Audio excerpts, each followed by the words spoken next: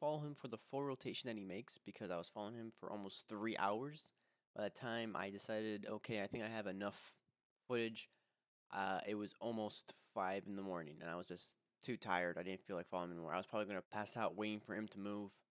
What I can tell you is that he goes from the southwestern gateway down to the southern guard camp to just the crossroads north of the southern guard camp to just in front of Glish to the crossroads south of the northwestern gateway to the northwestern gateway itself and he keeps following that pattern back and forth from what I've read online and from just what I've basically experienced him doing.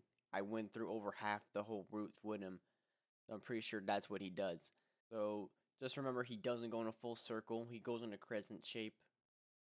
So if you're looking for him it's probably better to start at the southwestern gateway and then just keep going from the southern guard camp to Glish to the northwestern gateway I was looking for the Brave Boy for a while, so I hope this video helped you find it. If it did, awesome. If it didn't, I don't know how much clearer I could make it. Either way, I hope it helped.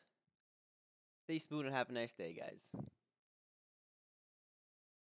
Also, a fair warning you need 10 energy to talk to this kid, so if you don't have 10 energy while you're looking for him, maybe just wait until you do, or else you're going to find him and you're going to be like, crap, I don't have 10 energy and I can't even get the information out of him, and then it'll just be pointless.